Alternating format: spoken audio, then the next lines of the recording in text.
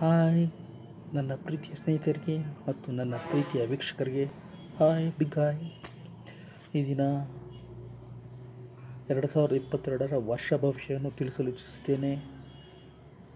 ಆದರೆ ಒಂದು ತಿಂಗಳು ಡಿಲೇ ಮಾಡ್ತಿರೋದಕ್ಕೆ ದಯವಿಟ್ಟು ಕ್ಷಮಿಸಿ ಅಂತ ಕೇಳಲು ಇಚ್ಛಿಸುತ್ತೇನೆ. ಮೊದಲನೇದಾಗಿ, ಹೋರೋಸ್ಕೋಪ್ ಪ್ರಕಾರ, ಸಂಖ್ಯಾಶಾಸ್ತ್ರದ ಪ್ರಕಾರ, ಯಾರಿಗೆ ಹೊಳಿತು, ಯಾರಿಗೆ ಕೆಡಕನ್ನೋದು ತಿಳಿಸೋಕ್ಕೆ ಇಚ್ಛೆಪಡ್ತೇನೆ.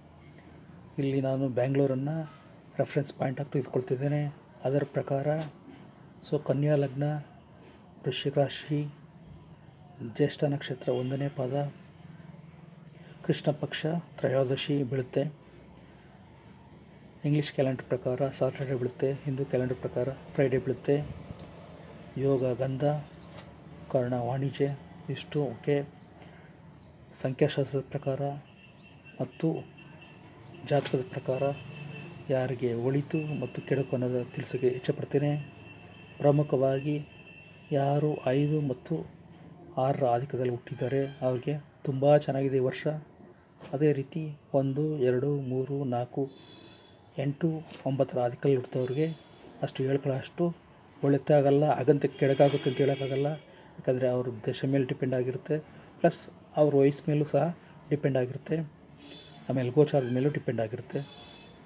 ಆ ಕಾರಣಕ್ಕೋಸ್ಕರ ಸಂಪೂರ್ಣವಾಗಿ ಸಂಖ್ಯೆ ಆಧಿಕದ ಮೇಲೆ ನಾವು ಒಳಿತಾಗುತ್ತೆ ಕೆಡಕುಂಟಾಗುತ್ತೆ ಅಂತ ಹೇಳೋಕ್ಕಾಗಲ್ಲ. ಓಕೆ ಸೊ ಪ್ರತಿಯೊಂದು ಸಂಖ್ಯೆಯ ಕ್ಷೇತ್ರದ ಮೇಲೆ ಕೆಡಕ, ಕೆಡಕಾಗುತ್ತಾ ಮತ್ತು ಒಳಿತಾಗುತ್ತಾ ಅನ್ನೋ ಹೇಳೋಕ್ಕೆ ಇಚ್ಛಪಡ್ತೇನೆ ಮೊದಲನೇದಾಗಿ, ಸಂಖ್ಯೆ ಒಂದು ಒಂದು ಅಂದ ತಕ್ಷಣ ದೇಶ ಆಗ್ಬೋದು, ರಾಜ್ಯ ಆಗ್ಬೋದು ಪ್ಲಸ್ ದೇಶ, ರಾಜ್ಯ ಆಳುವ ದೊರೆಗೆ ಅಷ್ಟು ಹೇಳಕ್ಕಳ ಅಂತ ಒಳಿತಂತೂ ಕಾಣ್ತಿಲ್ಲ, ಹಾಗಂತ ಕೆಟ್ಟಂತೂ ಆಗಲ್ಲ. ಅದೇ ರೀತಿ ನಂಬರ್ ಎರಡು ಅಂದ ತಕ್ಷಣ ಯಾವ ಕ್ಷೇತ್ರ ಬರ್ತೀವಿ ಯೂಶಲಿ ಅಂದರೆ ಶುಶ್ರೂಷಕರಿಗೆ ಅಷ್ಟು ಹೇಳ್ಕೊಳ್ಳೋ ಅಷ್ಟು ಚೆನ್ನಾಗಿಲ್ಲ, ಆರೋಗ್ಯ ಕ್ಷೇತ್ರ ಅಷ್ಟು ಚೆನ್ನಾಗಿಲ್ಲ. ಅದೇ ರೀತಿ ನಂಬರ್ ಮೂರು, ಶಿಕ್ಷಣ ಕ್ಷೇತ್ರ ಅಂತೂ ಅವ್ರಿಗಂತೂ ನೆಮ್ಮದಿನೇ ಇಲ್ಲ, ತುಂಬ ಕಷ್ಟ ಇದೆ.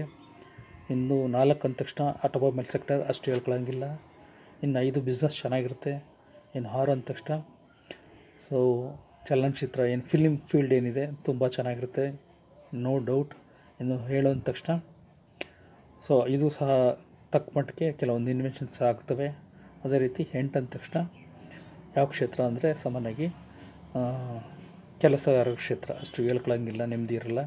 ಅದೇ ರೀತಿ ಒಂಬತ್ತು ಅಂದ ತಕ್ಷಣ ವಾರು ಅಲ್ಲಿ ಅಂತಾರಾಷ್ಟ್ರೀಯ ಮಟ್ಟದಲ್ಲಿ ವಾರ್ಗಳಾಗೋ ಸಾಧ್ಯತೆಗಳಿರ್ತವೆ. ಸೊ ಇಷ್ಟುವೇ.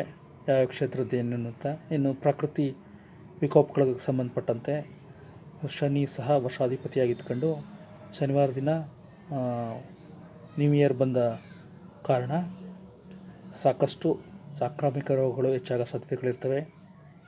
ಅದೇ ರೀತಿ ಒಂದು ಸಮಾಜದಲ್ಲಿ ಕೆಟ್ಟದೆಲ್ಲ ಆಗೋ ಸಾಧ್ಯತೆಗಳಿರ್ತವೆ, ಇಂಥದ್ದೆಲ್ಲ ಸಾಧ್ಯತೆಗಳಿರ್ತವೆ. ಆದರೆ ಟೋಟಲಾಗಿ ಹೊರೋಸ್ಕೋಪ್ ಮತ್ತು ಸಂಖ್ಯಾಶಾಸ್ತ್ರದ ಪ್ರಕಾರ ಪ್ರಮುಖವಾಗಿ ದೇಶಕ್ಕೆ, ರಾಜ್ಯಕ್ಕೆ ಅಷ್ಟು ಹೇಳ್ಕೊಳ್ಳೋ ಅಂಥ ಗುಡ್ ನ್ಯೂಸ್ ಅಂತೂ ಇಲ್ಲ. Thank you so much thank you thank you